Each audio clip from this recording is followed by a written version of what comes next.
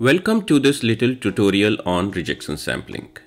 Rejection sampling is a Monte Carlo algorithm to sample data from sophisticated distributions. A Monte Carlo method essentially relies on randomness to solve problems, and we will see its usage in the context of rejection sampling. I will explain the intuition and math behind this algorithm using a difficult to sample univariate distribution. And this difficult to sample univariate distribution looks like this.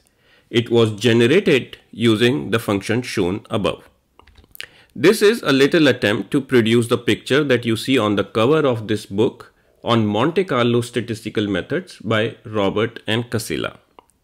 As you can see, my generated plot comes quite close to it. That said, our job is to generate random numbers, also called samples, that follow this distribution. When I say follow this distribution, it means that you would get these samples in accordance with their chances of occurrence. For example, for this target function, you can easily spot that we should gather more samples from the area marked as green in comparison to the area marked as red. That said, our problem is we do not know how to sample from this distribution function. What is the big idea here? Well, one general theme that you will see quite often when it comes to Monte Carlo methods is that you that if you cannot sample from your target function, then you would use another distribution function. This sort of proxy function that is generally easy to sample from is called the proposal distribution function. Quite frankly, the first time you hear this idea, it sounds absurd, especially when you have no prior experience with Monte Carlo methods. So let me help clarify. Yes, you would sample from a proposal distribution function, but make sure that the collected samples would follow the target function. Remember I described earlier that following the target function means that they would be sampled in accordance with their chances of occurrence. This means that once we have sampled from our proposal distribution function, we need to have a criteria that would ensure this property. By criteria, of course, I mean a mathematical relationship between the target and proposal distribution functions. We will see what this criteria is, but before that, let's talk about the selection of the proposal distribution function. One proposal function that we can always use is the uniform distribution because we know how to sample from it. It is also the easiest and fastest to sample from. We will tell the uniform distribution sampler to give us a random number between and including minus 3 and 3. As we know, all random numbers generated using the uniform distribution are equally likely and hence they would not follow our target function. I'm using G as a symbol for the proposal distribution function. And before we go further, there is one adjustment we need to make to our proposal function. And it is to scale it such that it encapsulates our target function. For that, we need a scaling constant. Here is the first attempt all I did was to scale the proposed function by 4 and we have a better encapsulation but still not satisfactory. And if we scale it with 25 then we have a full coverage. Note that this 25 applies to this problem only and is not valid for other target and proposal function combinations. We will now finally sample from our proposal distribution function. The marker X in orange is showing one such sample. The million dollar question here is whether we should keep it or discard it. We should accept it or reject it.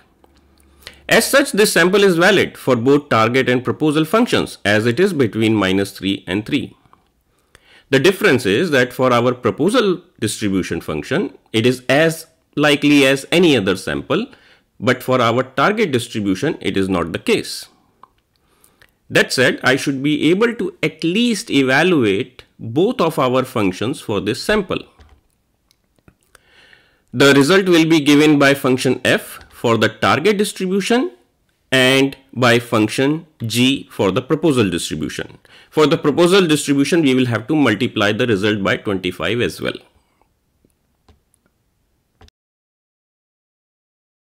That said, I have replaced 25 with C to make our setup generic for any combination of target and proposal functions. Some books use K or M instead of C. The more important thing is that the choice for the value of C should satisfy the criteria shown on the screen. One quick way to get it is to simply get the max of this ratio and that could be your first choice for C to start with. I mention again that we can evaluate both the functions for this sample shown as orange x but we do not know whether to keep the sample or throw it away. And we are after the criteria to make this decision. Now the criteria though not clearly apparent is going to be revealed using the evaluation values given to us by our functions f and g. I'm now showing you a marker in pink that is blinking. This marker sits on the evaluation line. We can see that anything above this marker goes beyond the limit of our target distribution for this sample that is orange X.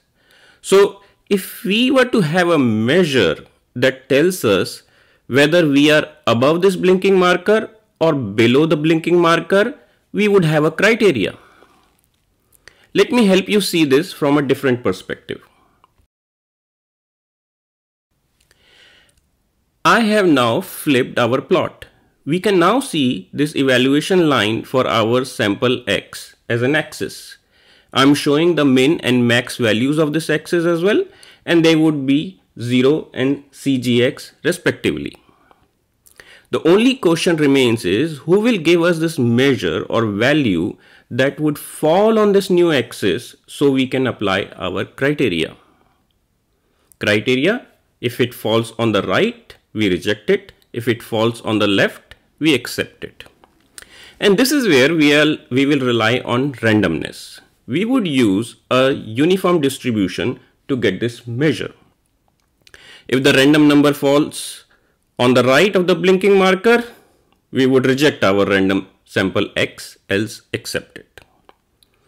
That said, there would be more random numbers from this uniform distribution that would fall on the right side of the blinking marker. Why? Well, we know that all numbers are equally likely from the uniform distribution and since the right side of the blinking marker is larger than the left, there would be more random numbers falling on it. Well, falling on the right side. You should appreciate that this setup, even though a stochastic one or a random one, has given us a mechanism to apply our criteria. So let's get one U from this distribution. And it gave the one that indeed fell on the right side of the blinking marker. We knew that it is going to do it. And clearly we would have to reject it. If you are keeping count, you should know that we have generated two random numbers. The first one was x from the proposal distribution function and now this one called u from uniform distribution. By the way, our proposal distribution is also a uniform distribution, but it is just one example of proposal distribution. If this measure u was smaller than our blinking marker spot, then we would have accepted it. At last, we can see, say that we have a mechanism, even though a stochastic one, that seems to help us keep samples in proportion to our target distribution. The proportion given by this evaluation line for a given sample.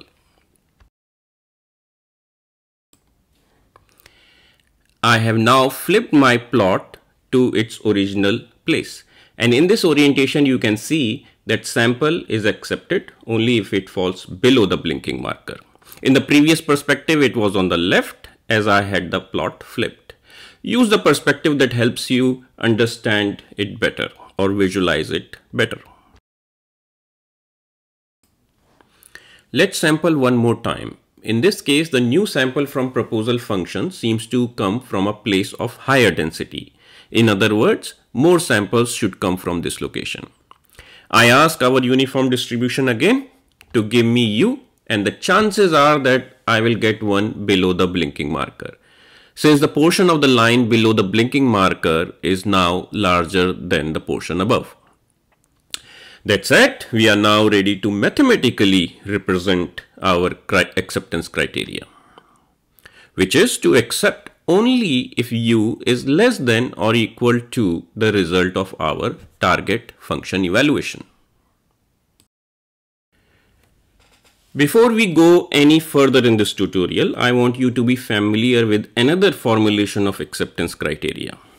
In lot of books and articles, you would notice that for our second random number, that is the measure from the uniform distribution, they would use the range 0 to 1. And that is okay as well. The difference would be that we would write the acceptance criteria in a slightly different way. There is no difference between these two acceptance criteria formulations. They are the same. The end result is the same. And this is more or less what basic rejection sampling entails that is select a proposal distribution, scale it, and then use the acceptance criteria that involves randomness to make a decision to accept or reject. Since there is a randomness in acceptance criteria, it is classified as a Monte Carlo method. Now let's look at some other aspects and terms as well. So far I have showed you only two samples. If we run our algo hundreds and thousands of time, we would end up having a figure like this. Here, the blue part is showing the acceptance region and the red, the rejection region. That said, you should see that this all seems to be highly inefficient. The figure clearly shows that we have a significantly larger rejection region than the acceptance region. So what could be the remedy for this? The remedy for this problem lies in our choice of the proposal distribution function. So far, we have used uniform distribution as the proposal function. Yes, it was able to cover our target function, but it also has a bigger rejection region. And there is nothing that prevents us from using another proposal distribution function, provided we can sample from it. Let's see one example of another proposal function for this problem. Here I have used Gaussian distribution as my proposal function and it also has the capability to completely encapsulate our target function. Of course, after scaling it, in this case, the C was 11. The rejection, rejection region is indeed smaller than what we saw earlier and we know how to sample from Gaussian distribution so it makes a fine choice for our problem. By the way, there is another name that we give the proposal distribution function that hugs our target function tightly. It is also called envelope or the envelope function. That said, there are still a lot of samples that would be rejected. I will leave you to think how you could further optimize it with respect to rejection regions. In other words, think of ways to reduce the rejection region even more. I will have another tutorial to describe this variant of rejection sampling very soon. Here are some results. I wrote a small Python function to do rejection sampling using both uniform and Gaussian proposal distribution functions. There is not much code that this algorithm requires. Here is the histogram that is being generated using the accepted samples and as you can see that it is reflecting the shape of our target function. And when I use the uniform proposal distribution, the acceptance rate was only 23.5% and for Gaussian proposal distribution, it was around 54%. So even for Gaussian distribution, quite many samples were rejected. And therefore you need a very large number of samples to approximate your target functions. And this brings us to the end of our little tutorial. I hope this tutorial was helpful and you were able to understand what rejection sampling is. If you have questions and doubts, please let me know in the comments and I would try my best to answer them. With that, thank you very much for your time. Bye bye.